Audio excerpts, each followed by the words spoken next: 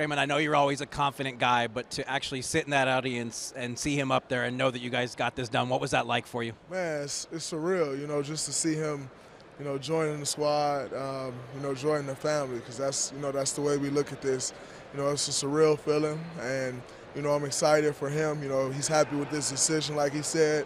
He wanted to make his decision as a man, a decision for himself, and you know, I'm happy he had the opportunity to do that. I'm happy that we were the team that he chose to be with, and I'm looking forward to getting out on the floor with him. You guys all piled onto that plane, flew to the Hamptons. What were you guys thinking when the meeting was over, knowing you're first and four other teams are going to pitch him before he makes his decision? Um, I, you know, I didn't really worry about what line, what the lineup was, and you know how the team meetings would go. I think our focus was on how our meeting went, and I thought, you know, when we walked out of there, I thought the meeting went great.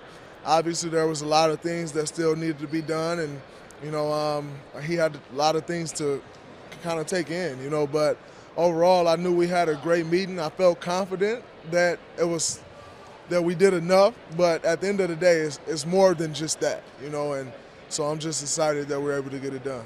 There seems to be a lot of chatter that you guys are going to be villains now. You're not going to be darlings like you've been for a lot of this two-year run. How do you think this team will handle that kind of spotlight?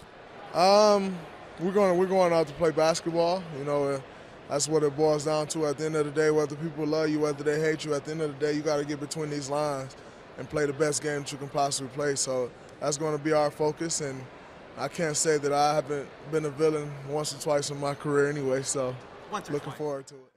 If you could think back a couple weeks to where you were walking out of that arena after Game Seven, and then sitting up on that podium today, just what was what was this day like for you?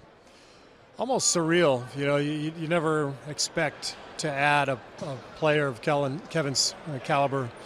Um, a couple weeks after you lose in the playoffs, it, it was it was kind of strange, but um, euphoric as well. I mean, he's such a great player, a great person, great teammate, fits right in with our guys, and uh, so to see him with that Warrior jersey was uh, was pretty cool you know what we're going to do in the media. You landed the big fish in free agency, but now we're going to say, how, how on earth can these four guys play with one basketball? What, what's your response to that kind of talk? Well, they all like to pass, um, and that's the truth. Um, I think one of the reasons we've been good the last couple of years is the number of playmakers that we have on the floor at any given time. You know, whether it's uh, you know Shaun Livingston, Andre, you know, Bogut, um, Draymond, Steph, and Klay. I mean we move the ball, and a lot of people can make plays. And Kevin is a great passer, and he he didn't come here to score 35 a game. He came here to play with the four guys that went to New York to recruit him. That was the main pitch. Was just those guys, and they all like to pass. They all love to play the game.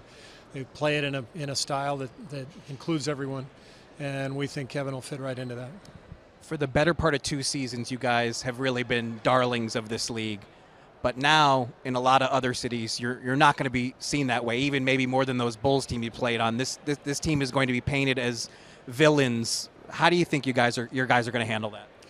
It already started kind of by the end of the year. We could kind of feel it a little bit. I think, um, you know, we've, we've won at a really high rate, obviously, the last two years. And at first it was, we were, you know, on our honeymoon period, and then and we got married, I guess, and uh, things, reality kind of set in. And we had, a, you know, we had, that feeling of being, um, you know, the villain or whatever. And now I'm sure we will be more so. But um, you want to be one or the other. You want to be the, either the darling or the villain. When you're stuck in between and nobody cares, that's when you got a problem.